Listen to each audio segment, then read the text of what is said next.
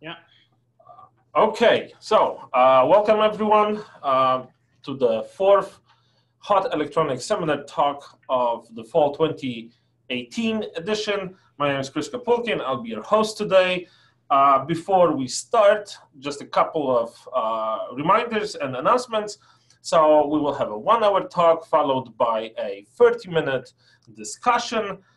Uh, we encourage you uh, to ask questions and uh, make interruptions during the talk.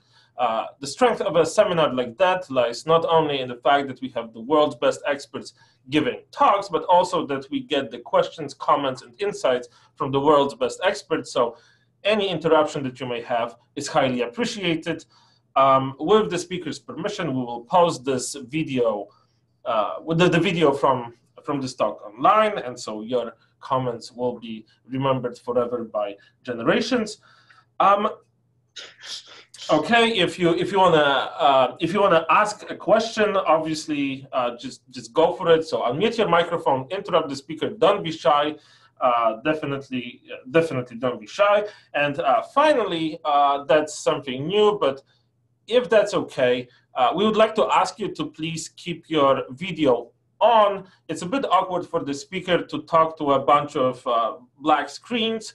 Instead, if you could like keep your video on to give this feeling of a, of a regular seminar, uh, that would be that would be highly appreciated. Obviously, if you're you know watching it in your bed and just wearing your tighty whities, then we also appreciate you're not turning your video on. But in all other circumstances, essentially, uh, that would be great if you can keep it uh, on. Um, okay, so uh, I, uh, I hope you'll turn your videos on uh, soon. Uh, and uh, with no further ado, I'd like to introduce our speaker today. So it's a great pleasure to welcome Nicolai Kraus of the University of Nottingham, who will speak about some connections between open problems. Uh, yeah, thanks, Chris, for hosting this meeting and thanks for inviting me, of course, and, and thanks for introducing me. So yeah, I, I mean, I, I cannot see if if anyone has a question, then just interrupt me uh, by by talking because I cannot see the chat uh, while I have the, the slides on full screen.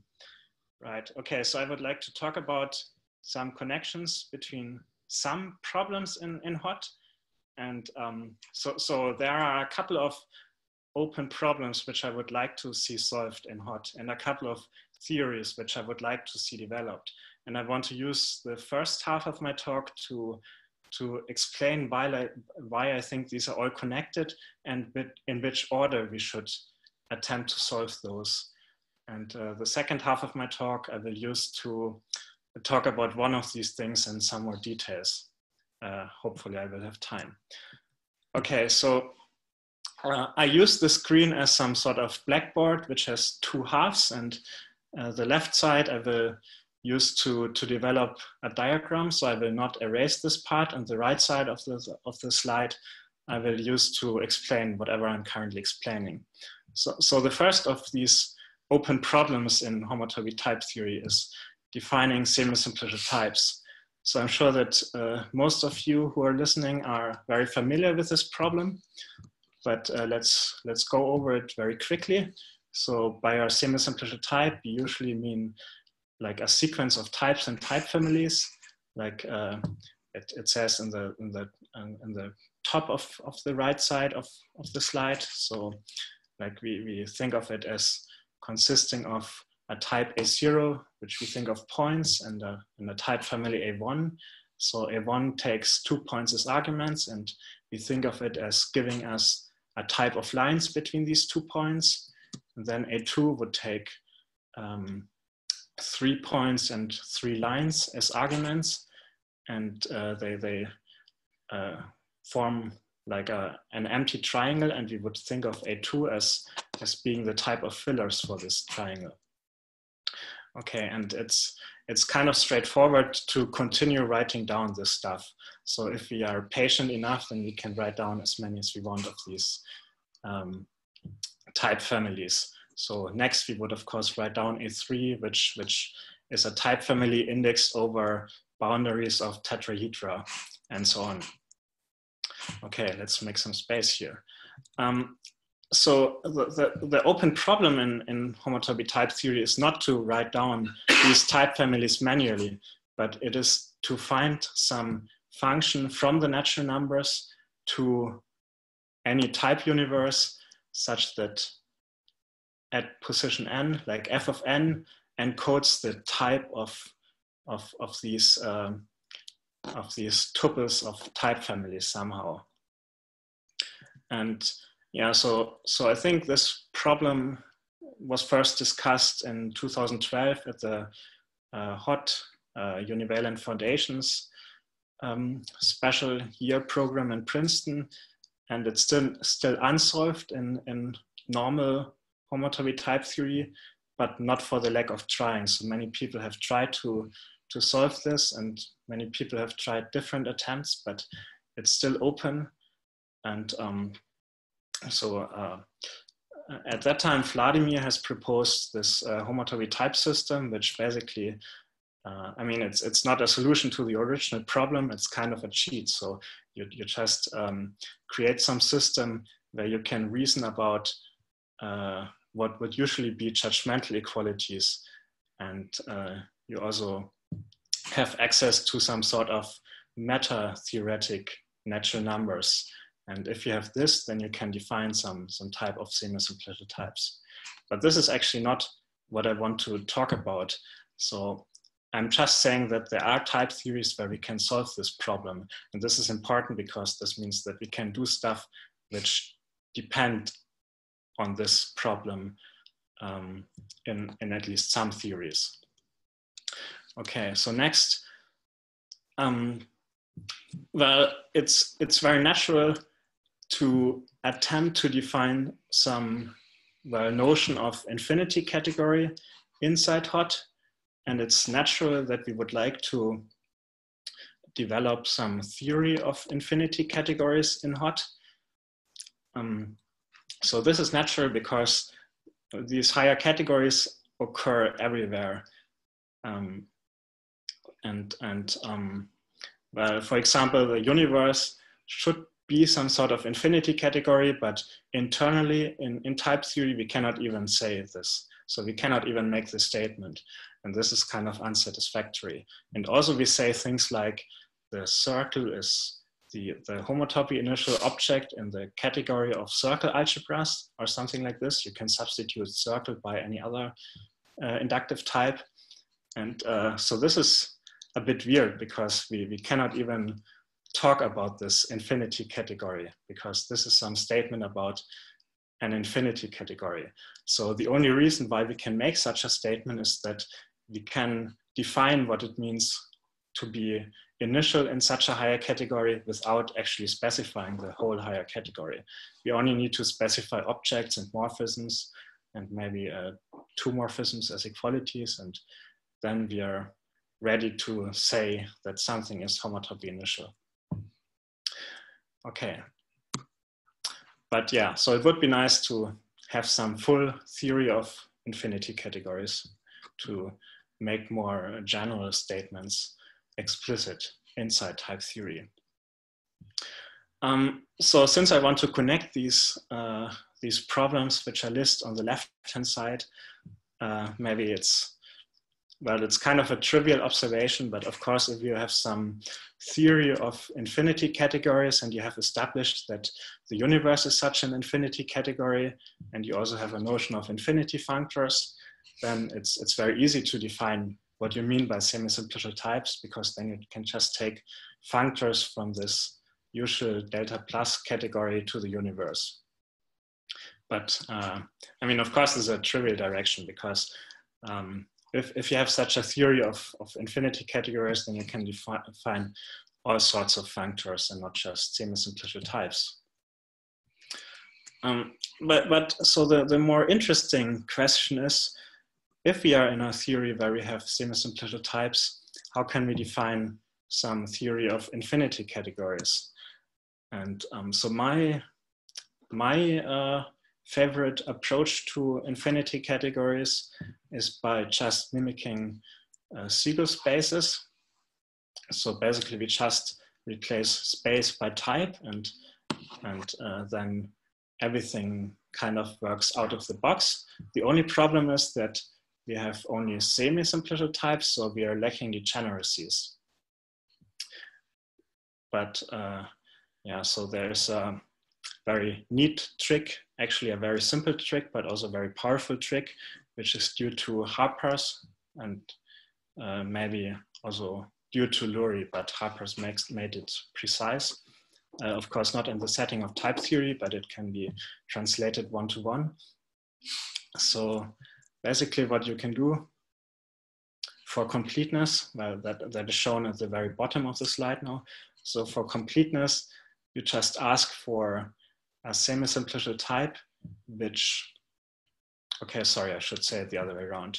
So first, uh, you start with a semi-simplicial type, and then you equip it with the usual Segal condition in any uh, in any variation you you like. So I like to think of it as horn filling. So you say that whenever you find some inner horn, then the type of fillers for this inner horn should be contractible. Uh, so in the first picture, for example, you see that uh, if we have some inner horn which just consists of two morphisms, then we fill it and we get the composition. And yeah, if we if we have if we start with some uh, tetrahedron where one one face is missing and we fill it, then what we get essentially corresponds to associativity of of the composition in this um, semi-simplicial type. And yeah, so now because of this uh, semi thing, we don't have identities, but you can just ask that, you can just uh, add this uh, completeness condition, which says that for any object, there is some morphism with this object as, as domain, such that this morphism has some special status. It behaves like an equivalence, and it has the property that if you create some horn where this morphism is at the right position, then you can fill outer horns.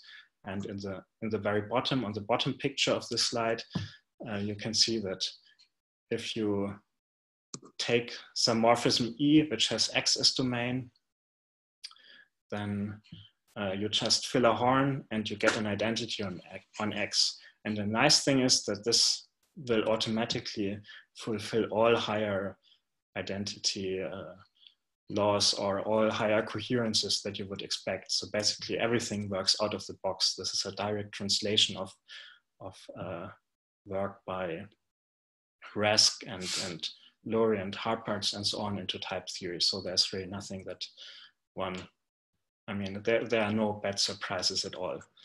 Sorry, uh, before you go on, can I ask uh, you to say a bit more about the trivial, the trivial direction here?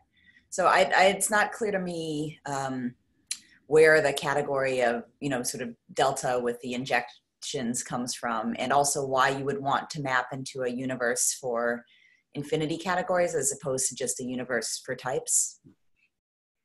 I mean, basically, I just don't understand that that direction at all. Uh, how how you get semi-simplicial types from a theory of infinity categories. Okay, sorry. Um, so I think this depends on what exactly we mean by semi-simplicial types. I haven't really specified this completely, but basically I just mean, I mean, ba basically this, this statement is uh, kind of tautological because by semi-simplicial type, what I really mean is a functor from this delta category into the infinity category of types. So by, by U, I mean the infinity category of types. I mean the universe seen as some infinity category. And the delta category is something that we can define as in the usual way. So objects are just natural numbers and morphisms are these uh, functions between finite types which are strictly increasing. So, so the delta category we can always define very easily. We don't really need anything for that. And that's a set in, that, in the sense of homotopy type theory. So nothing can go wrong there. Um, and on, on, the previous slide, when I discussed semi-simplicial types, well, this maybe looks not exactly like a functor because usually when, when we try to define semi-simplicial types in, in homotopy type theory, we try to use it um, using this uh, Reedy fibrant encoding of, of such functors because like this is this is the the I mean this is one possible approach which feels very natural in type in type theory where you always talk about type families. And yeah so because here all the usual functor laws which I mean so we, we want to avoid talk, talking about functor laws right? Because as soon as we talk about functor laws we need to add coherences and this is very tricky. So what we do instead is encoding these functors in this Reedy fibrant way where we talk about types and type families. And then the functor, the, the morphism part of this functor is just given by projections. And these projections are automatically, uh, they automatically fulfill the usual functor laws. So basically the functor laws hold strictly. So we don't need to say anything about this. And since we don't need to say anything about functor laws, we, we get all coherences directly. Um, I'm not sure, does this answer your question, Emily? Uh, that's helpful, thank you. Okay.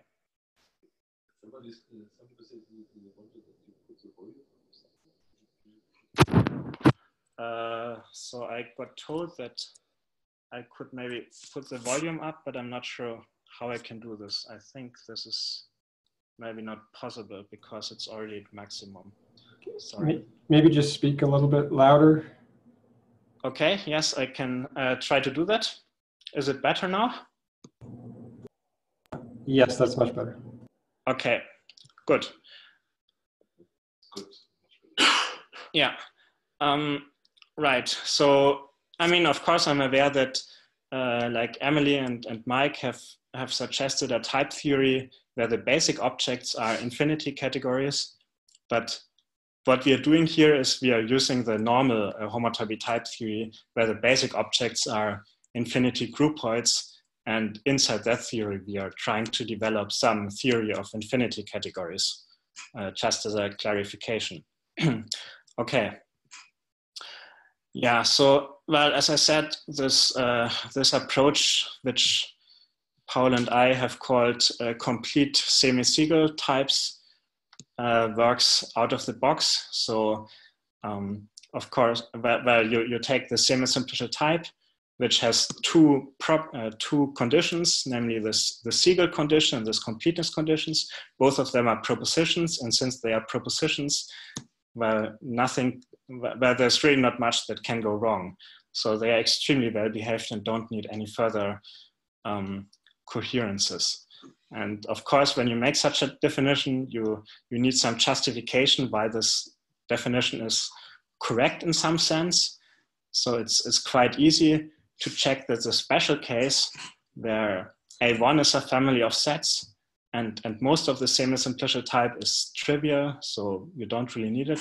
So this special case, you can check quite easily that it's equivalent to the normal definition of univalent categories that you have in HoTT, like the, the, um, the definition of univalent categories that was given by Benedikt, uh, Chris, and Mike.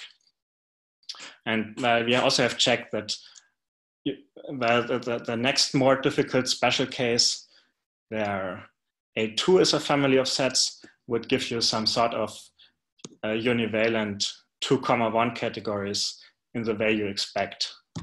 So everything works. And well, of course, now to justify further that this is a reasonable notion, we should be able to demonstrate that we can develop some uh, reasonable theory with them. Um, we have done this partially, but most of it is work in progress. Okay. Um, so, so if there are no questions anymore about this case, maybe let's go to the next open problem, which I want to talk about. So this uh, problem is, well, I call it HoTT eating itself. Uh, so a couple of years ago, Mike has proposed that actually if we have type theory with n plus one universes, then we should somehow be able to use this to model type theory with n universes. So th this is maybe what one would expect. And the, the question is, or what we want to do here is really, we would like to implement HoTT inside HoTT. So that's maybe a quite natural thing that one would, might want to do again, because if we want to see HoTT as a foundation in which we can do anything we like, then at least we should also be able to implement HoTT in the system. So yeah, um, there are actually many people who have worked on this. So for example, uh, Ambrus Kaposi has written his PhD thesis on this topic and um, Torsten has given a talk on, on this topic in this seminar a couple of months ago. And then there are other people like uh, Martin and Chuangjie and I think Ulrik and Peter, Matthew, Dimitris have also worked on this. And I think my list is probably very incomplete. So please apologize if I didn't list you here. Um, and, and I think this, this problem of implementing type theory inside type theory is very appealing because when, when you hear about this problem, it, it feels like you immediately have some ideas how you would attempt it. So you would start by defining some type of contexts and maybe some type of context morphisms, like substitutions between these contexts and some family of types indexed over contexts and so on. But uh, so I think there are essentially two difficulties with this problem. So the first one is that type theory is very complicated and has many components. So if you want to equip this type theory with everything, including pi types and sigma types and so on, then you need uh, lots of definitions and lots of components which you want to put in. And you need to, I mean, organize everything very well in order to have a chance to make it work yeah so even if you but even if you overcome this problem there's a second problem and this problem i think is maybe in the beginning not not as visible but um, i think this is the problem why we have not fully solved uh, mike's question yet and this problem is again coherences so usually if we talk about the syntax of type theory that we want to implement here, we would expect that the syntax forms a set in the sense of homotopy type theory. So we want to have some set of symbols or some set of types. And of course, types may not be sets, but since we are um, now using HoTT as the meta theory of this, of this theory, of course, in the meta theory, we have some set of, of um, of possible types and some set of terms and so on. But um, yeah, so when we when we actually define type theory in type theory, we need many equations. So we need, for example, we need equations for beta reductions and and uh, all these things. And as soon as we add these equations, we also get in this coherence hell. So we need many, we need to add many coherences in order to make the whole thing well behaved. And so, well, we, we can avoid these coherences, but then we would, uh, if we if we started to set truncate everything, so that all uh, higher equations that we would expect hold automatically. But if we do this, then the, the type theory which we are actually working on in is no longer a model for the type theory that we implement. So basically we cannot reflect. I mean, I mean we have no way of, of um, defining a function from this uh, type theory that we are defining internally to the type theory that we are working in, because this is what we actually want. Okay, um, so of course, a couple of months ago, Torsten has uh, given a talk on exactly this topic. So basically the, the idea is that we should not set truncate, but we should use uh, we should use higher categories and and define this type theory and type theory as some sort of infinity category with families in order to make sure that it's fully coherent and in order to um, to organize all the equalities that we need. But yeah, so so this maybe has some chance of working, but it's still not worked out, so it's still work in progress. Okay, so um, here's one further remark.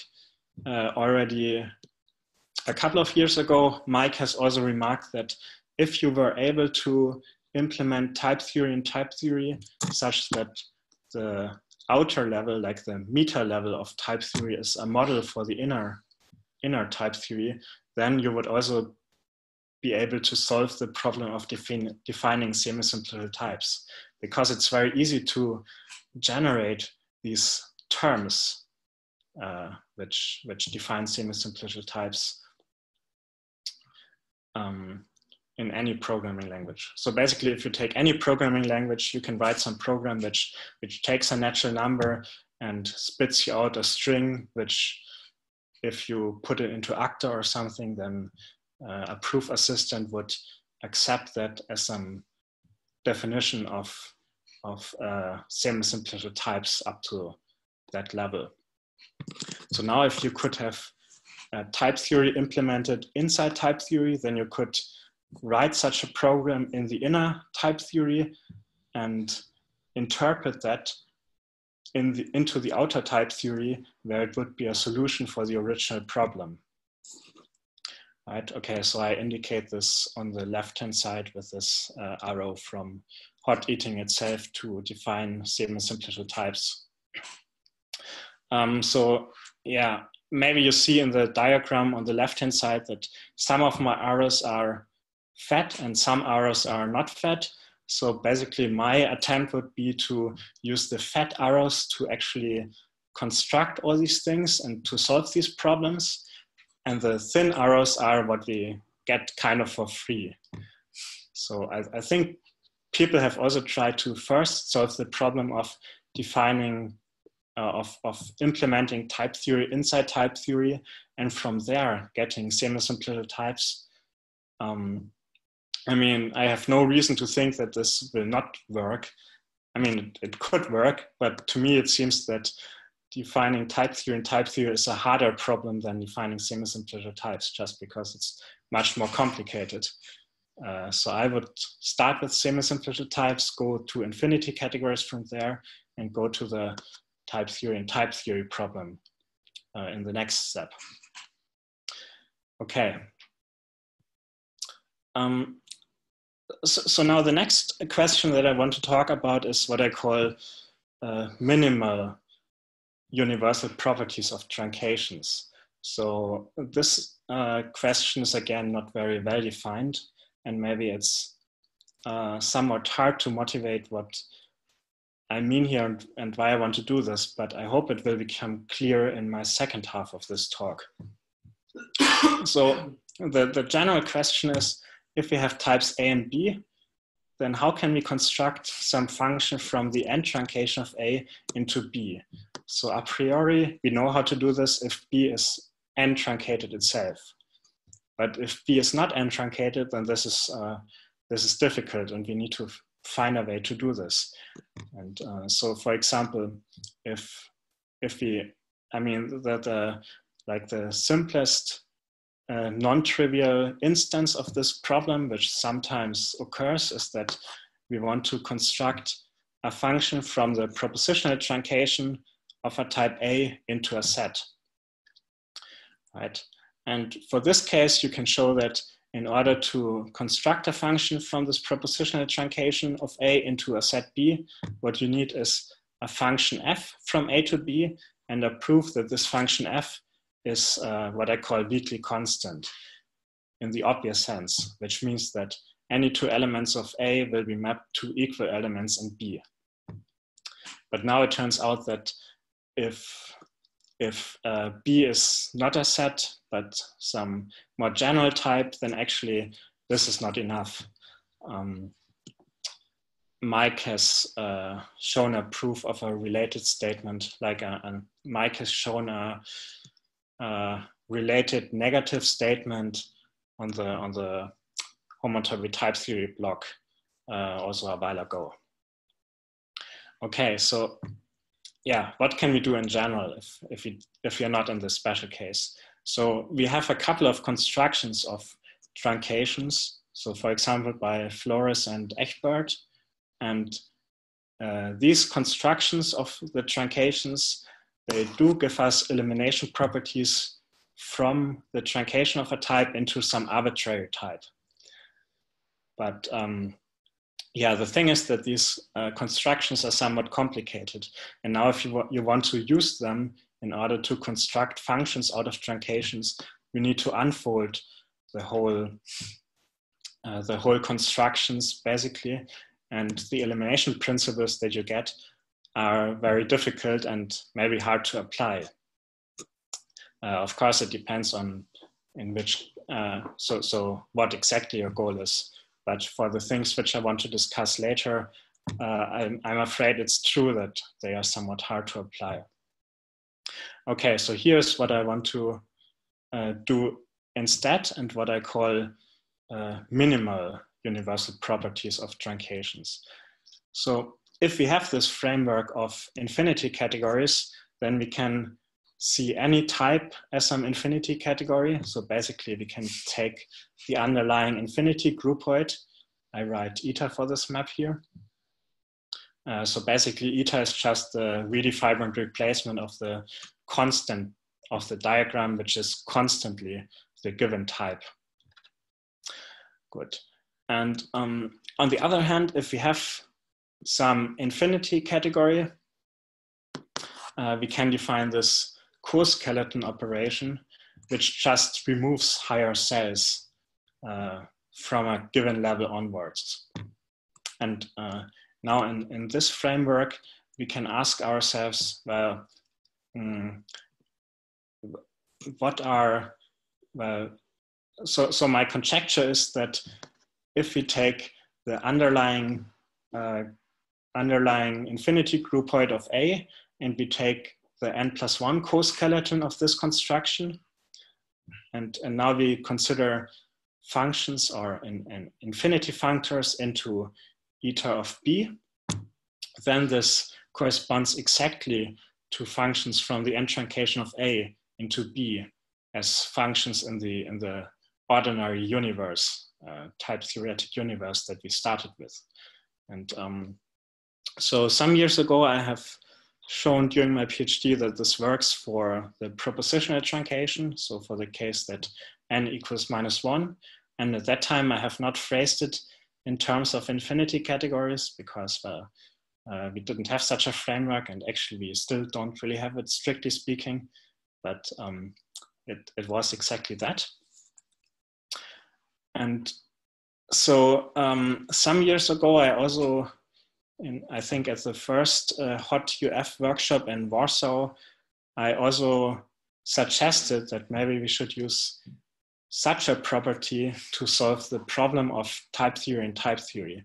Because basically, um, with such a property, we can we can uh, use set truncations to to remove all higher equalities from, from some given types of, of contexts and morphisms and so on in type families in order to still get sets.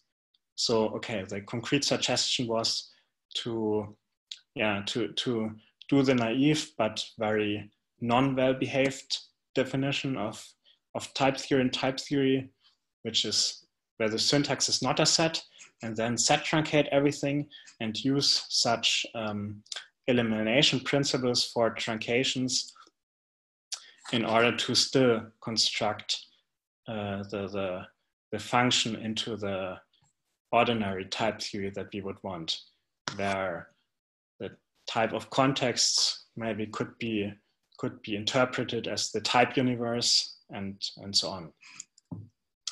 Okay. Mm. Yeah, but uh, so this arrow kind of destroys my diagram. So I will uh, remove it again and make some space.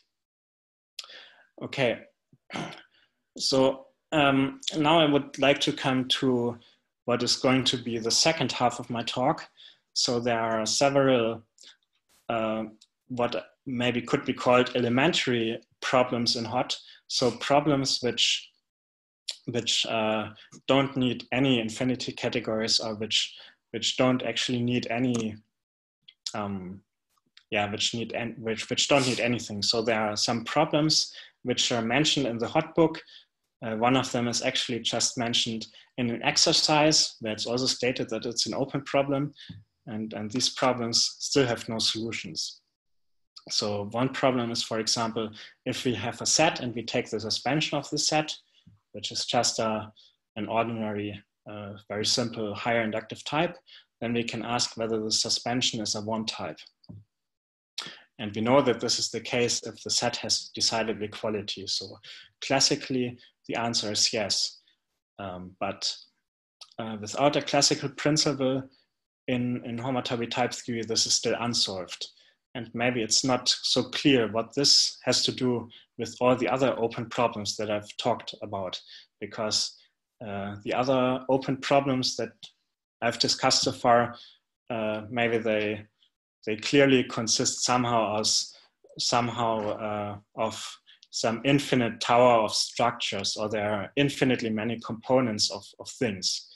But now for for these um, maybe elementary uh, open problems in, in type theory, well, they, they don't contain any such, or, it's, not, it's not clear why they contain infinitely many components in any way. Um, so I, I, haven't yet made this connection precise. I'm, I mean, I'm working on this and this is work on, in progress, but in the rest of my talk, I want to, uh, I want to, I want to outline why I think there's some relationship and what I expect how this could work out in the end. So let's say, um, let's see. So I, I call these problems elementary, not because they're easy, but I call them elementary because they, they don't need much to formulate. So for example, there's this problem of the free group. So if we start with some type A, then we can take uh, what is usually called a wedge of A many circles. So this is just if we take uh, two, the two functions, like two functions from the type A to the unit type, and we take the homotopy co-equalizer of, of this type. Then we, we get what I here call WA, so uh, for wedge of, of A many circles. Uh, we can write it as a higher inductive type with a base point where we add one loop for every point in A. And uh, now the free group can, can just be defined directly to be the loop space of, of, this, uh, of this wedge of circles. So yeah, we would want to know whether if A is a set, is this free group still a set? And uh, again, if, if A has decidable equality or if we assume ex excluded middle, then the answer is yes. But in general, the question is still open. So we can make it slightly more general and consider the suspension of, of the type A instead of the free group. But um, yeah, it's, it's nearly the same, just uh, we take a push out instead of a co-equalizer. And yeah, we ask a similar question. So now we just ask whether the suspension of A uh, written as sigma A is a one type if A is a set. Okay, um, so then there's a similar problem, which I think has a similar status at least, which I have asked a while ago on the HoTT mailing list and which I think is also still unsolved. But basically, if we start with a one type B and we add a path to this one type. So let's say we have a one type B and we have two points in this, in this type B. So this is given by a map from from two, the type of booleans to be in this diagram. Now we take the push out along the map from two to the unit type. So now we, and, and as push out, we get this type uh, B bar, and we can think of B bar as being B with one extra path added between the two points that we had chosen in the beginning.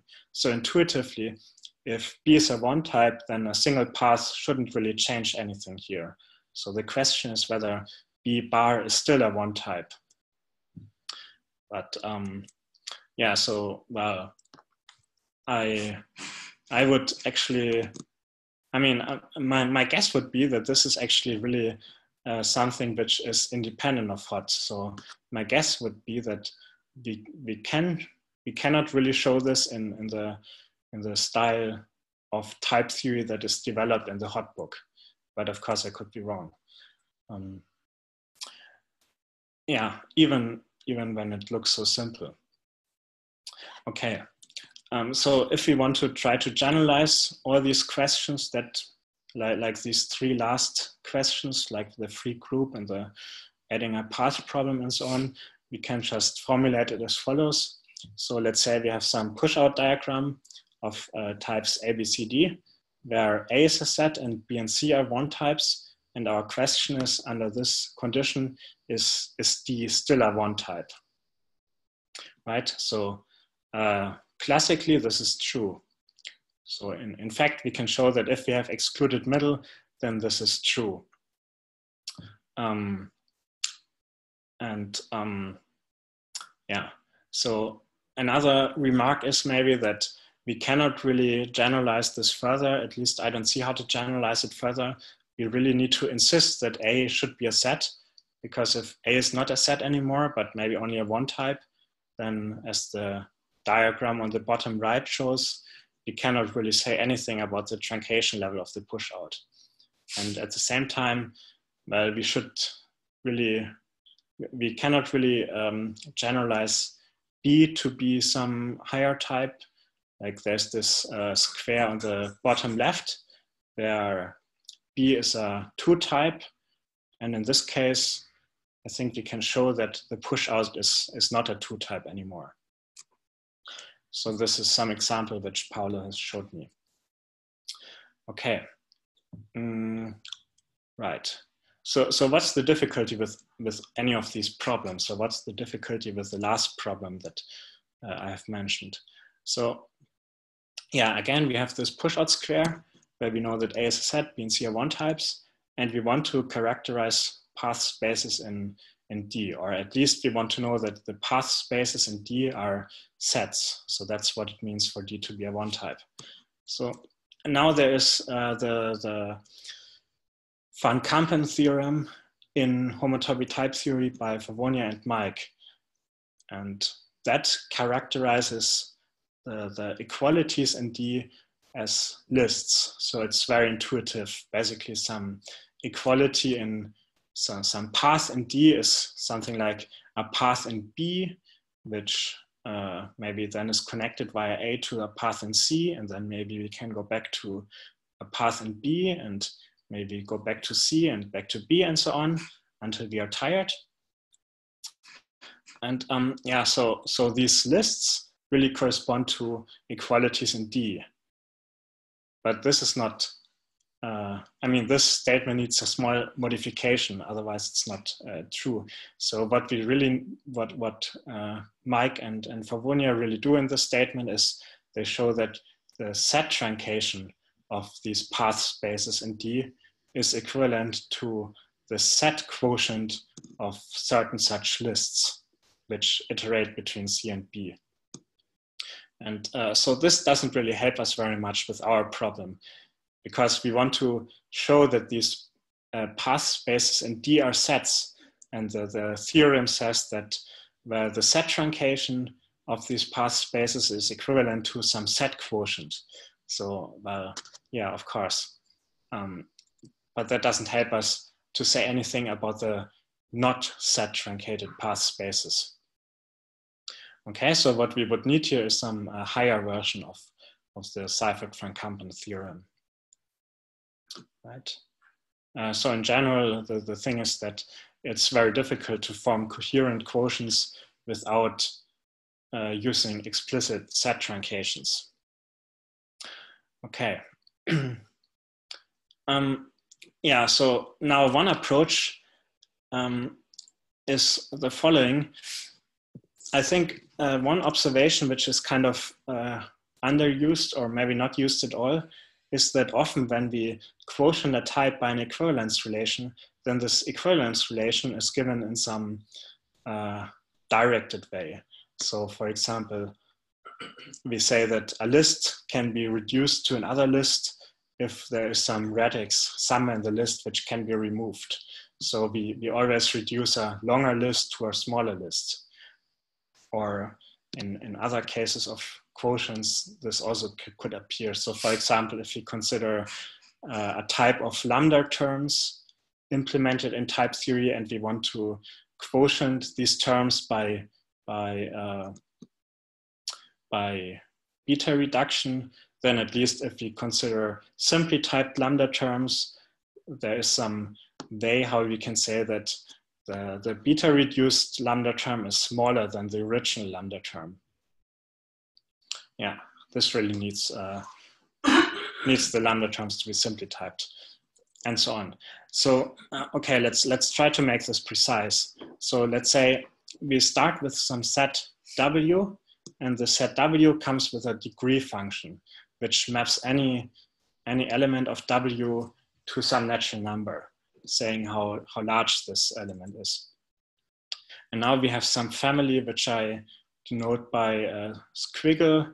So the idea is that uh, squiggle um, tells us that one element of W can be reduced to some other element of W.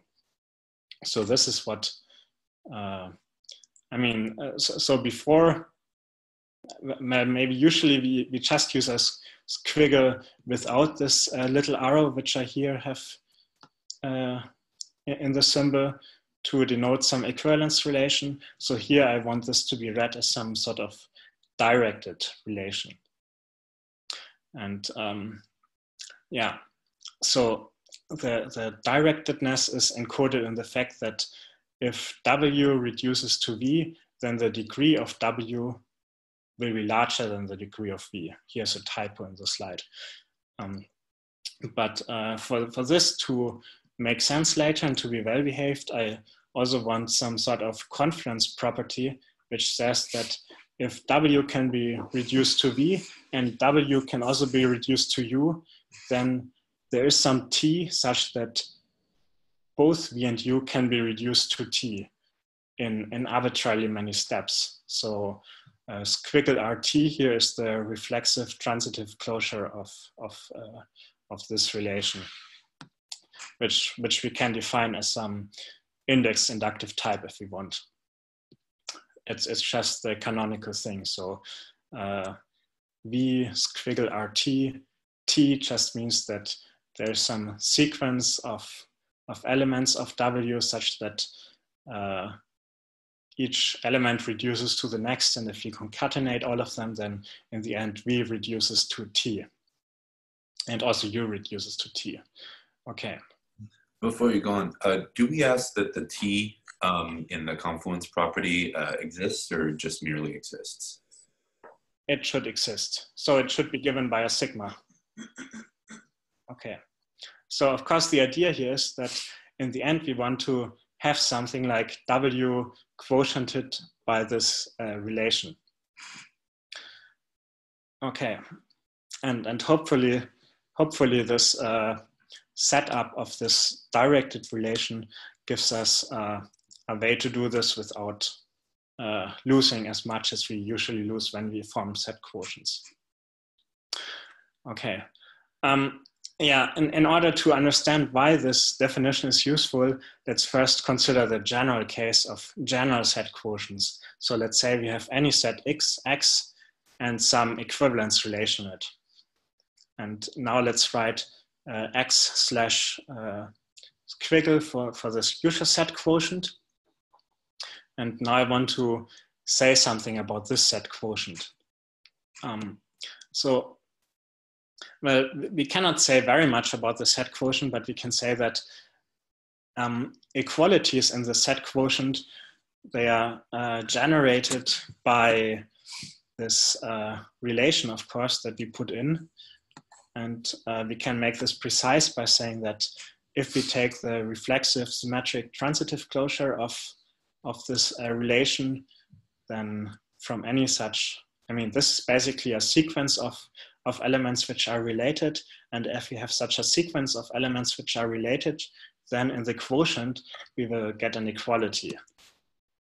So yeah, in, in, in general, um, this function, which I write as phi here, which constructs these equalities, this will in general not be an equivalence because you can imagine that there are many sequences of, of uh, related elements in X which maybe get mapped to the same equality. And uh, yeah, so in, in, in, the set quotient, these uh, different equalities will get identified, but the sequences are different. But you, what you can say is that this function phi is surjective. Okay, uh, so a consequence from the fact that this function phi is surjective is that if y is a one truncated type, then uh, functions from the set truncation into y, no, sorry, functions from the set quotient of x into y correspond to, uh, uh, they correspond to triples. So first we need a function from x to y, so that is to be expected. Then we need a, we need a proof p, which says that whenever two elements in x are related, then in y they become equal. Yeah, that's also to be expected. And uh, third, um, whenever, like third, we need to say that uh, if we take any sequence of related elements in, in X, and the sequence maybe starts and ends with A, then this sequence by P should be mapped to a commuting polygon. So it should be mapped to reflexivity in the end. Right, so uh, this is to ensure that basically there's no ambiguity. And, and you can really show that this type of triples is equivalent to functions from the set quotient of x into y.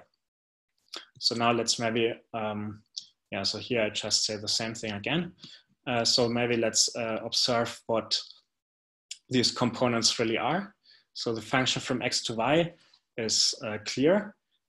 Um, so here I have this picture of a polygon. So this should, so the, the vertices should uh, just symbolize elements of x and the, the arrows between them are just um, elements of, of these relations. So basically we have, here we have eight different elements of X and they are, and, and uh, many pairs are related by this uh, equivalence relation or by this relation which might not even be an equivalence relation.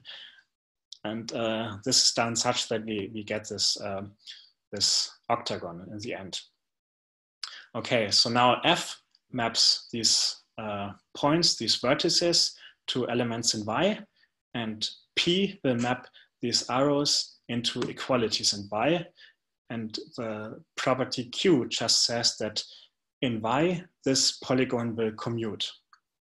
Or in other words, in Y, the, the, the equality that we get in the end will be reflexivity if we compose all these equalities that we get. Okay. Um, so now, unfortunately, this is maybe still very hard to use because we need to talk about this reflexive symmetric transitive relation of the relation that we start with. Um, so of course, if we start with an equivalence relation in the beginning, then uh, we wouldn't have to take the reflexive transitive uh, symmetric closure. But the idea is that in the beginning, we just start with some uh, generators of this relation. Okay, so in, in general, um, yeah, there will be many such polygons and uh, this condition is still very hard to check, so it's still very difficult to construct such a term Q. But now let's see what we gain from considering a directed relation. So let's again consider this such a polygon, but now let's uh, say that these elements are of W, of type W. And uh, the relation that we have is now has this directed property. And now I replace the vertices um, by the degree, I mean, instead of like before where I wrote just these uh, bullets for the vertices, I now just write the degrees of these uh, vertices right? So how the elements of W are called, I, I don't really care. But I, I care about their degrees. So now we have this uh, polygon here. And now what we can do is we can find some span. So for example, the span which has the seven in the middle and use this confluence property that we have asked for in order to uh, in order to find a way to reduce the two endpoints of the span. So here we use the span uh, 276 and um, yeah, so the confluence property tells us that the two will reduce to something and the six will reduce to something. So both of them maybe not necessarily in one step, it could be in two steps. So here, for example, the six reduces first to something of degree five and then to something of degree one. And the two also reduces to the same thing of degree one. And now we can continue doing this. So let's look at some other span. So for example, the span with the six and uh, the, the legs to the five and the four. So now again, we can use this confluence property and uh, we again get something and we can continue, con continue doing this. And um, as long as this polygon is not trivial, we will always find some uh, local maximum, or we actually will find, we, we even can find some, some element of maximal degree, and we can uh, take such a span and use the confluence property to reduce it. And the end result of this thing is that if we continue doing this, then we will necessarily end up with a trivial polygon and we will have uh, disassembled the original polygon into small uh, confluence polygons. So basically any such polygon can be written as like, like can be constructed out of confluence shapes. Um, right, and this is nice because now that we know this, we don't really have to ask for Q to map all polygons to commuting polygons in Y anymore. It is enough to ask that uh, P maps these uh, polygons or these mostly squares that we get from the confluence property to commuting uh, to commuting polygons in Y. So the, the original property Q can be re, uh, replaced by this red property Q. Okay, so this is much simpler because there are many fewer confluence shapes than there are polygons. And also we, uh, in, in concrete examples, we can, I mean, we are actually choosing what our confluence shapes are. So we have a very strong control over what these confluence shapes are.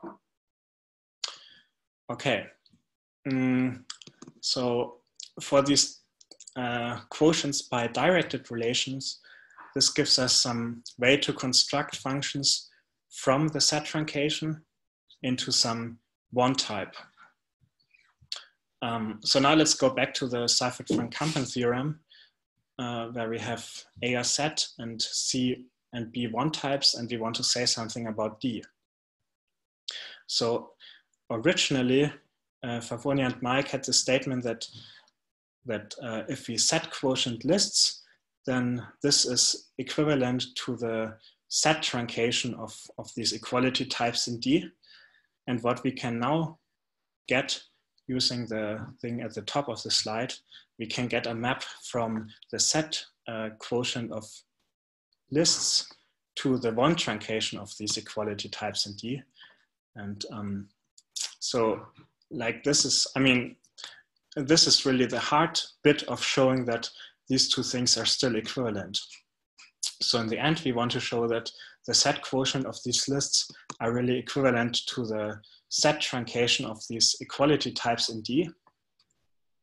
But uh, yeah, we are not there yet. Uh, so um, so far we have only shown that there's a function into the one truncation and uh, out of this function we can create some equivalence proof and um, yeah so then uh, this is the hard bit of showing that there's some equivalence but okay so we would want to generalize this even further of course and to generalize it further uh, we need to know more. So now it's not enough anymore that confluence shapes are mapped to commuting polygons.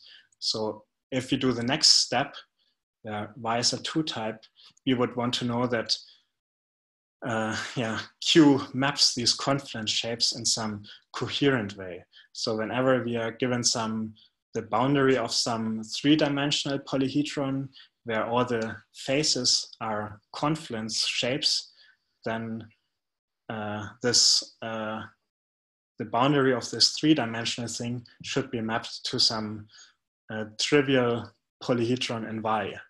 But this seems very difficult because, well, again, we have many such um, three-dimensional polyhedra, and uh, this looks very complicated and hard to handle.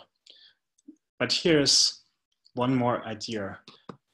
In, in many cases, we don't just have this confluence property, but we have some strong confluence property where, um, uh, so, so the strong confluence property would say that if W reduces to both V and, and U, then V and U can be reduced to the same T in at most one step each. So instead of taking the reflexive transitive closure of, of the relation, it's enough to take the reflexive closure. And if we do this, then instead of, uh, then for these confluence shapes, we don't just get any arbitrary uh, polygons, but now we will get some sort of uh, cubes or no, well, first we will get squares, maybe even squares where up to two sides can be trivial, but the important thing is these are squares and not general polygons. And uh, now squares seem to be much easier to handle.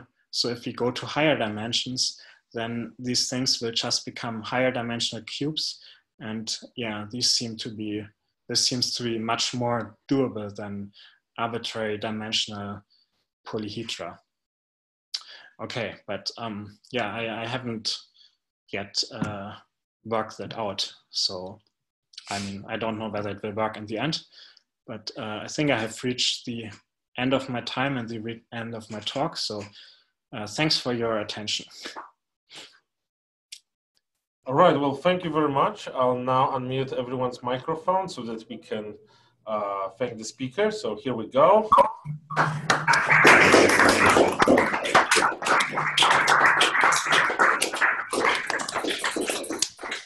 Now I'll mute everyone. Uh, okay, everyone should be muted and uh, we'll take some questions. And by we, I mean Nicolai.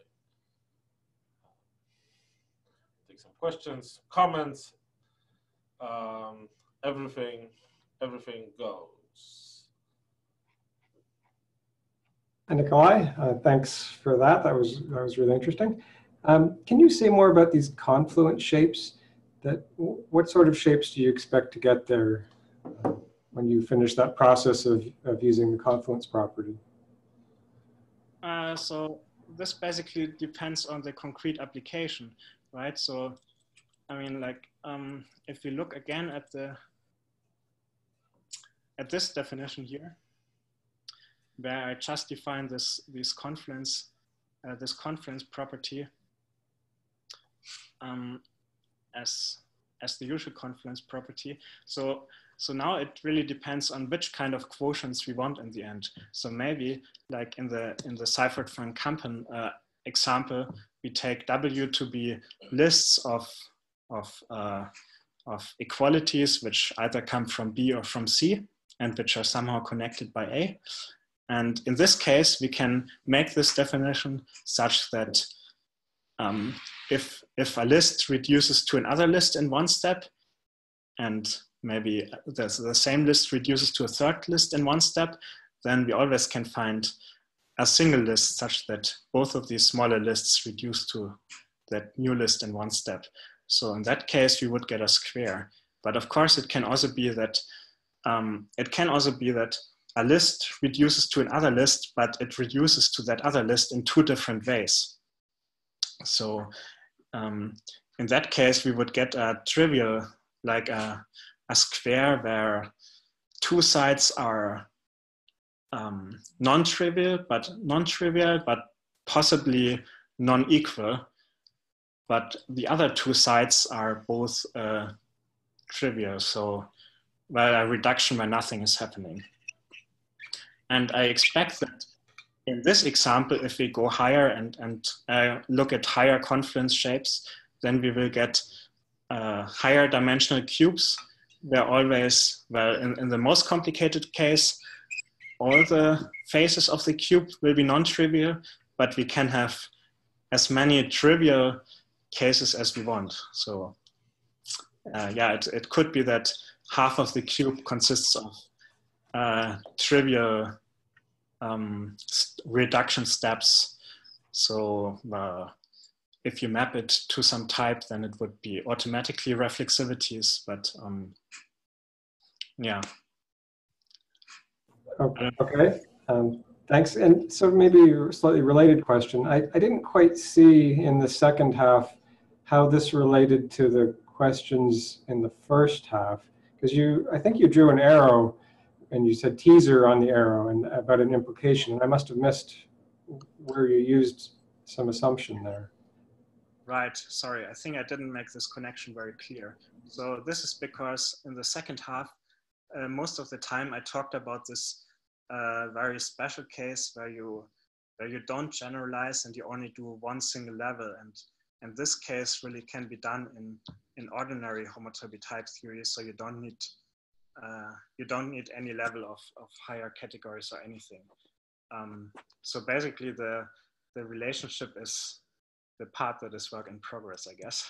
Um, so the idea is that here in the very end, um, when you want to generalize to these higher cubes, then um, you, you need to organize these uh, higher uh, these higher conditions that uh, these higher confluence shapes get, get mapped to trivial things somehow. And um, I think the right way to do this is to use some higher categorical framework, but um, yeah, it's, it's, it's hard to explain why I think this, but maybe actually it's more related to, um, yeah, what do we have here? To these minimal truncation universal properties, uh, because here uh, for these minimal truncation properties, I said that this essentially gives us way to, to ways to construct functions from the n truncation of some type A into B. And now I'm interested in the case where n is zero. So I want to, because in the end, I want to construct functions from the set truncation of some quotient. So the, the, from the set quotient of some lists into some other type. So in the end, I want to construct functions from the set quotient of these uh, Seifert-Van Kampen-like lists into the equality types of, of the type D.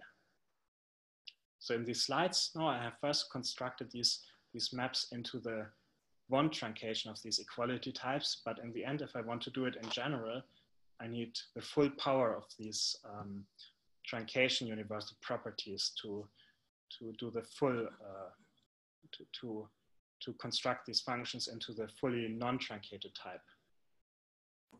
Good, yeah, I see now, thank you. Okay.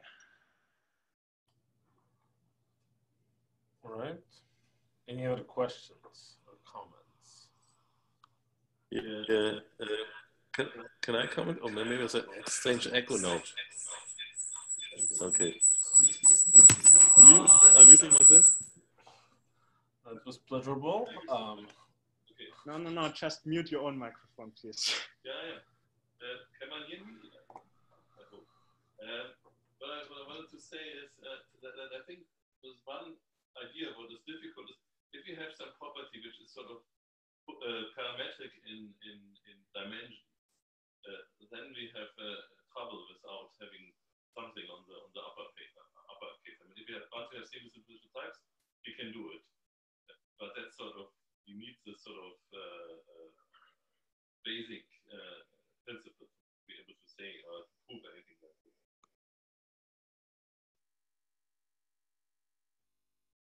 Yeah, right. Um, so in principle, it could be possible that all of the things that I want to do can be done with one of these encodings of the of, of the set truncation, like the encoding that Egbert has given, for example. Um, I mean, well, it could be possible that we can use that one.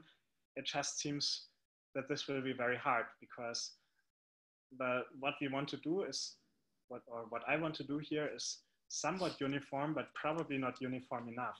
It's like with semi-simplicial types. The definition of uh, semi-simplicial types from the very beginning, uh, like, like here, uh, the definition of these A, A0, A1, A2, and so on is very uniform, but we don't get it to type check in type theory.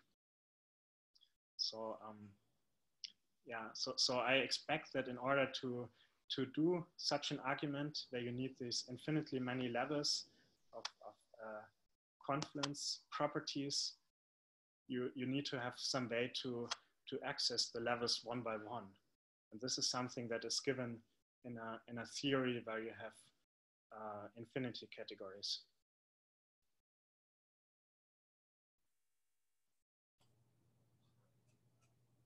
All right. Anyone else? Questions, comments, or anything else?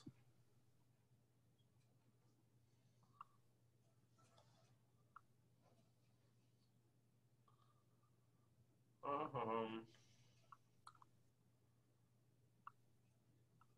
well, okay. Um, okay, maybe if this is the case, then I'm going to ask again. Are there any questions or comments? you did not see that coming, did you? Um, okay. Um, so I guess um, I guess at that point maybe it would be appropriate to thank the speaker again. So I'm gonna unmute everyone. Uh, okay, and off we go.